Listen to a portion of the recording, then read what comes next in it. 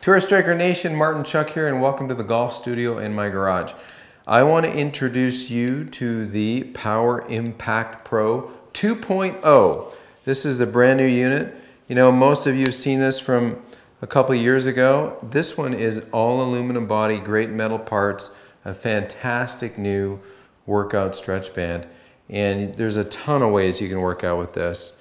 Whether you're traveling, I mean, you name it. If you're simply going to do some, you know, arm curls, it's got the resistance of about 20 pounds in this arm curl situation right here.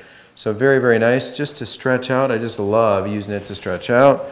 Working the behind my back, you can really stretch the pecs in your back naturally. It attaches to the door and you can do a variety of great golf related stretches with it.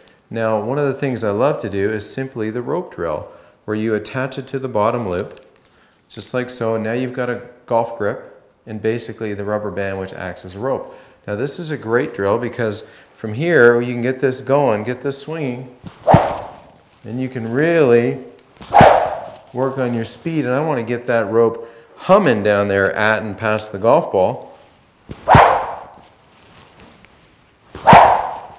Whew.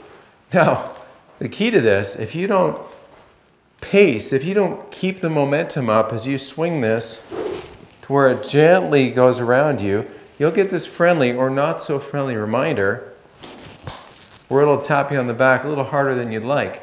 So the key to the rope drill, whether you have a rope or you get the Power Impact Pro 2.0, is the feeling like once you get the speed going, pace it and face it, and then try to get that speed up.